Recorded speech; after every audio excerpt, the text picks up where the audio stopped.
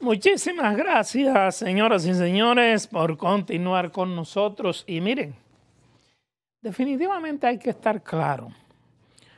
Cuando un adulto mayor, cuando una persona adulta va con niños a un lugar turístico donde hay piscina o hay mar o hay playas o hasta en la propia casa deja agua en alguna pileta o en alguna cubeta, tiene que estar pendiente de los niños que hay ahí.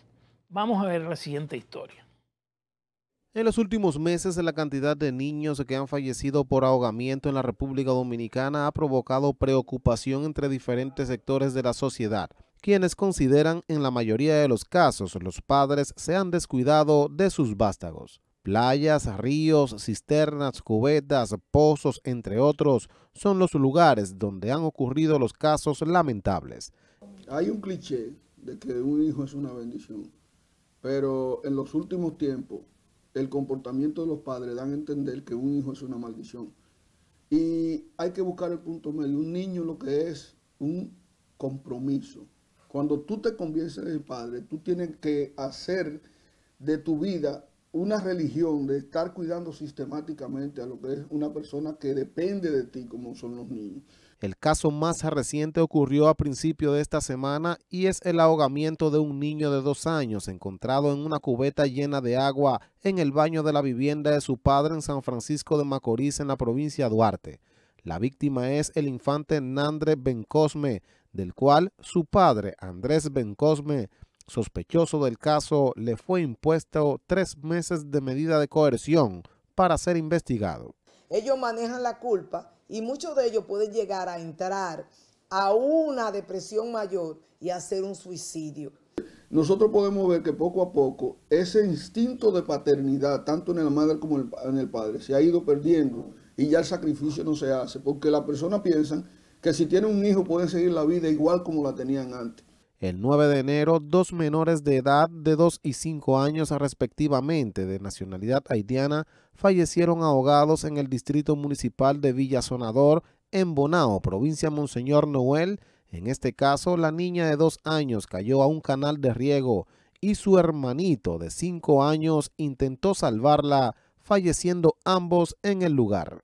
Una persona que quiere un hijo a los 3 años, a los 4 años, a los 2 años, va a garantizar que ese niño no esté puesto a un peligro tan evidente como una cisterna o como una cubeta llena de agua, que tú dejes el niño y te vayas, o en el río que tú dejes el niño, un niño solo, como son los casos que han pasado en los últimos tiempos. El padre que pierde un hijo, los padres no estamos preparados para ver la ida de un hijo, estamos preparados para ver la ida de nuestros padres. El pasado 11 de marzo en la comunidad Arroyo Blanco, en Santiago Rodríguez, específicamente en el río Guayubín, el menor Ángel Manuel Núñez González, de 7 años de edad, falleció por asfixia por inmersión, ahogamiento. El 12 de marzo en Santiago, la Defensa Civil informó sobre el hallazgo del cuerpo del niño de 8 años, Manuel Abreu Ferreira, en las aguas del canal de riego Ulises Francisco Espaillat. Un día después, el 14 de marzo, la población dominicana se estremeció con el hallazgo de los dos cuerpecitos de dos niñas ahogadas en las aguas de la presa de Bao en el municipio Sabana Iglesia, en la provincia de Santiago.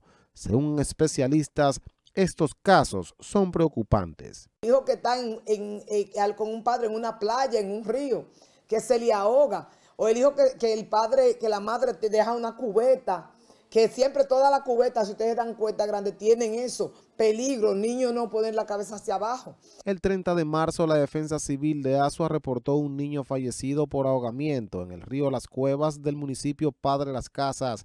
En este caso, la madre narró que lo dejó en la orilla de dicho río para salir a buscar una toalla. El 31 de marzo, un niño de 6 años de edad murió cuando se bañaba en una piscina en compañía de su hermano, y amigos en el sector Laureña en Santo Domingo Este. La víctima fue identificada con el nombre de Daniel Mercado, quien falleció cuando era trasladado a un centro de salud para tratar de salvarle la vida. Junior Trinidad Objetivo 5